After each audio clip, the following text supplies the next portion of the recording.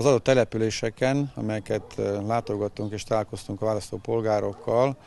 néhány olyan probléma merült fel, amely közös, ezek közül a legfontosabb.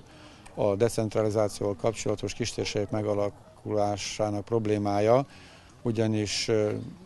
Kárpát az egyetlen megye, ahol még a kistérségek megalakulásának a perspektív terve nem lett elfogadva, viszont most már aktuálissá vált, ez a terv elkészült, ezt a tervet a közigazgatási hivatal, az adminisztráció beadta a megyei tanácsnak, hogy az megvizsgálja, megvitassa és elfogadja. Azonban ebben a tervben sincs benne az, amit az itteni közösségek akarnak. Márpedig a törvény szerint csak önkéntesen lehet végbevinni az egyesítést, a kistérség létrehozását,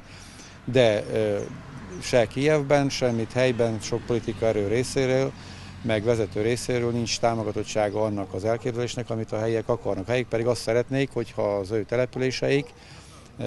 nem egyesülne Ungvárral, a megyei központtal egy nagy kis térségbe, hanem külön lennének, mégpedig Holmok község központtal létrejönne egy kis térség, illetve Onokóci központtal egy másik, ami nincs sem a tervben, sem akarat nincs rá. Mi viszont azért vagyunk, képviselők, hogy az emberek érdekeit, a közösség érdekeit képviseljük, és én, mint képviselő a megyei tanácsban, és mint parlamenti képviselő jelölt egyértelműen az emberek érdekét fogom képviselni, azért fogok lobbizni, hogy akaratuk teljesüljön. Azon kívül sok probléma van, ami a ivóvízellátással kapcsolatos, az utak állapotával kapcsolatos, és különböző infrastruktúrális problémákkal, szociális szféra objektumaival, iskolák, óvodák,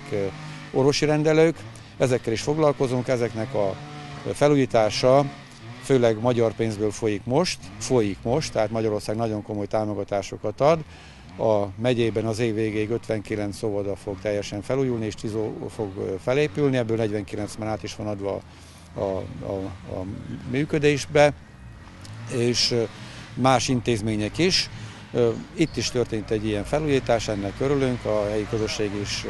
örül, úgyhogy ezek a dolgok megoldódnak, de mi azt szeretnénk, hogy ne csak magyarországi pénzből, ne csak külföldi szponzorok támogatásával és azok segítségével történjenek ezek a dolgok, hanem a központi forrásból, az országos költségvetésből is legyen finanszírozás, és onnan is igyekezünk majd ide csapolni ö, ö, olyan pénzeket, amelyekből tovább lehet fejleszteni a mi infrastruktúránkat, a mi intézményeinket, ami útjaink